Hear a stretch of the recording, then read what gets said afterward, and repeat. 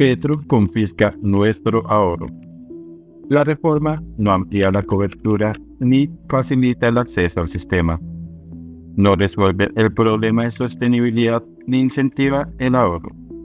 No tiene en cuenta la dinámica demográfica, la expectativa de vida, la tasa de desempleo y de informalidad. Por Paolo Arguín. La reforma pensional del gobierno Petro no solo no resuelve los retos que hoy tiene el sistema, sino que los agrava y amenaza con desencadenar una crisis que afectará a los fondos privados, AFP, que administran el ahorro de millones de colombianos y la aspiración legítima de los trabajadores que han ahorrado para tratar de asegurarse un ingreso al momento de su retiro. Además de enterrar cualquier posibilidad de pensión para las futuras generaciones. Algunas de las razones que hemos señalado y que nos llevan a no apoyar la reforma que confisca el ahorro de los trabajadores son, primero, barrera con el ahorro de los colombianos y presionará aún más la economía.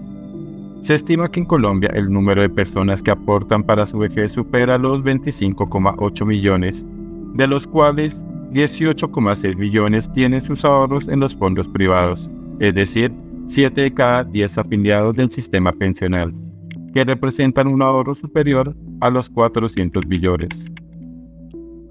La reforma de Petro pretende que el ahorro pensional de los colombianos, hasta tres salarios mínimos, sea trasladado al fondo público, con pensiones, lo que de acuerdo con la Asociación Nacional de Instituciones Financieras ANIR, terminará aumentando el pasivo pensional a 249% del PIB en valor presente neto a 2070, lo que se traduce en un monopolio estatal y en la pérdida de libertad que tienen los colombianos de escoger entre el fondo público y los privados para hacer sus aportes. Esta es una especie de expropiación forzosa que afecta el rol que juegan las AFP en el mercado de capitales y la formación del ahorro nacional, suponiendo un grave riesgo a la estabilidad macroeconómica. Segundo, expropia el ahorro de los fallecidos.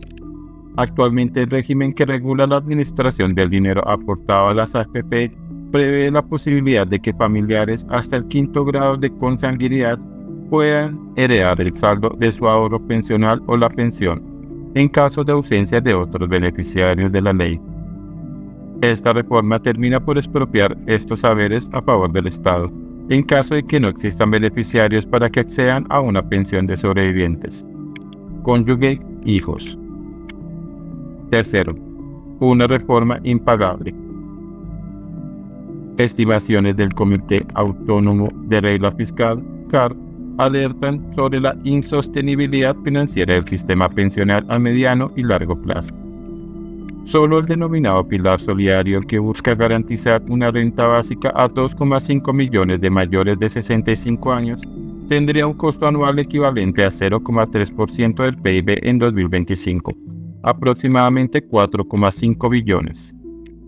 La reforma no amplía la cobertura ni facilita el acceso al sistema, no resuelve el problema de sostenibilidad ni incentiva el ahorro, no tiene en cuenta la dinámica demográfica, la expectativa de vida, la tasa de desempleo y de informalidad. No revisa los regímenes especiales ni tiene en cuenta que hace unos 30 años, por cada pensionado había 10 trabajadores, en tanto que hacia el 2050 habrá entre 3 o 4 trabajadores por pensionado. Atención Colombia. En el Congreso faltan muchas batallas para frenar las dañinas reformas para proteger el sistema democrático y para blindar nuestras libertades. Por eso, este 21 de abril nos vemos en las calles.